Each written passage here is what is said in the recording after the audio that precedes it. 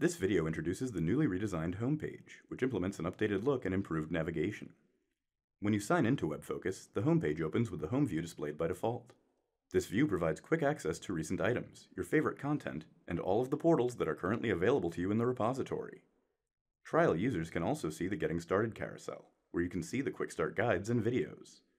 You can scroll through each of these carousels or click the View All button to see all of the items in this section. To go back to the home view, click the back arrow. You can also go back to the home view from any other location in the homepage by clicking the WebFOCUS logo in the banner.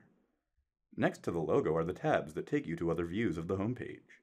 My Workspace view is a centralized location for all your private content. Here you can alternate between the grid and list views. In the grid view, you can see the thumbnails that identify your content. The default thumbnails are assigned automatically by WebFOCUS based on the file extension and chart type, and can be identified by their minimalist design. You can also create a custom thumbnail, either from an uploaded image or by linking to an existing image in your repository. Additionally, you can view these items in a list by clicking an option in the navigation bar. Each item displays an icon identifying the type of content that it contains.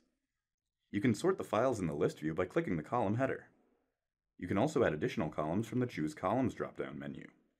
The Shared with Me view shows all the content items that were shared with you or your group by other users, or the items that were shared with all users. Here too, you can alternate between the grid and list views.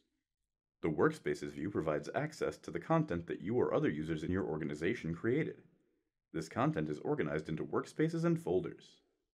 There are a few ways to navigate the files in the Workspaces view. You can click on folders in the resources tree to display their contents, and double-click folders in the content area to drill into them. You can navigate back up using the resources tree, or by using the breadcrumb trail in the navigation bar. The navigation bar also provides the ability to refresh the content area and switch between the grid and list views.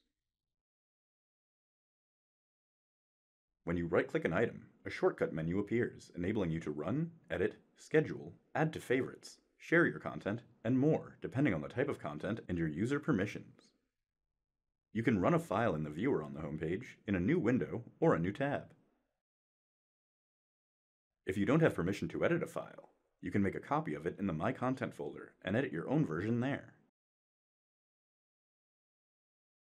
You can use the plus, get data, and visualize data buttons above the content area to get data and create new visualizations. These buttons are accessible from every view of the homepage. To create a new item in the workspace or folder selected in the resources tree, click one of the buttons in the action bar. You can expand or collapse the action bar to free space in your content area. To access administration options for WebFOCUS, use the menu at the top of the page.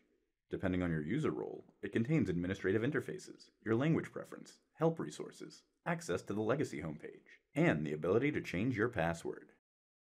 To learn more, visit the WebFOCUS knowledge base, where you can search all technical topics and videos.